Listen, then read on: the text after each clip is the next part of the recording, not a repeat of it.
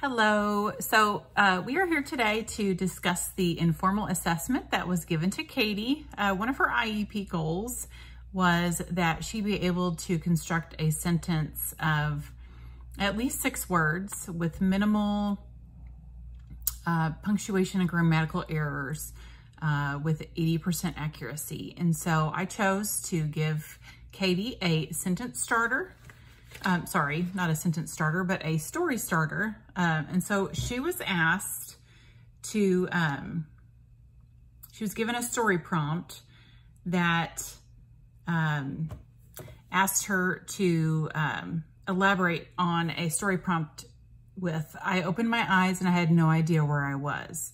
And then she was instructed to just continue with that writing prompt. And as I was looking at her response, um, I decided to use a rubric to be able to let me know how she did in particular on this assignment. And um, so I was looking at different skills. I was looking at capitalization, punctuation, sentence structure, neat neatness, and grammar. And um, with her capitalization, um, I did notice that Katie was able to use correct capitalization where needed. She always started her sentence with a capital capital letter. And um, with punctuation, um, she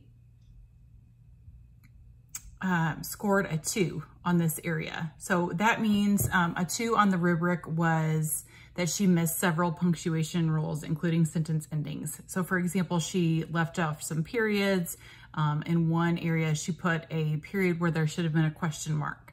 And so since there were several area, uh, errors on that area, I went ahead and gave her a two for that score. For sentence structure, she um, mainly constructed simple sentences. And to be able to score a four in this area, she was going to need to write simple, complex, and compound sentences, which I feel like that's a little lofty for Katie at this point in time, but um, I was happy with the fact that she was able to uh, demonstrate for me the ability to write a simple sentence. So we scored a two on that area.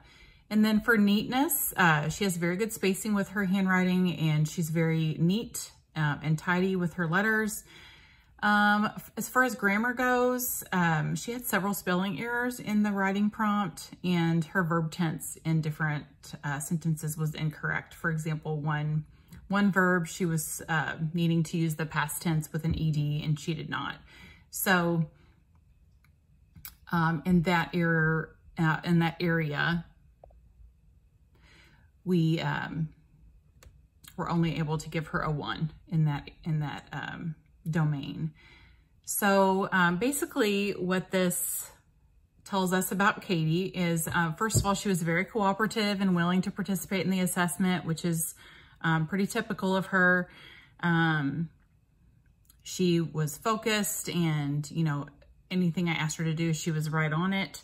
Um, like I said, she has very neat handwriting and she's able to space and write in a straight line. Um, um, I think, you know, especially with sentences that do not end in a period, she definitely knows that something besides a period goes on the end, but we need to work on what exactly that is, whether it's an um, exclamation or a question mark, which, you know, we can work on that with identifying question words and things like that. Um, I feel like this was a good um, assessment for Katie in um, correlation with her goal, but I do feel like maybe next time we need to stick with one sentence instead of having her complete a whole story starter. So maybe just looking at one sentence and trying to fix the mistakes um, since that was a weakness for her in her um, evaluation. Uh, her tendency was to try to find mistakes that weren't there. And so I think um, that wouldn't be a good starting point and maybe progress up to the story starter. And um, so that's really all I would change. Um, I do feel like this was pretty accurate and uh, shows that we do need to still work on this with Katie and um, just simplify things a little bit for her um, in the future and going forth from here. So that's all I have. Thank you.